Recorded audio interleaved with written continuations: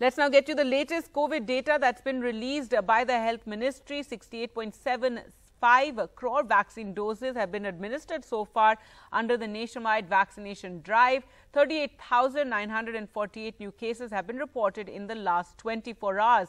Active cases account for 1.23% of total cases. India's active caseload has gone now over 4 lakh. It's 4 lakh 4,874.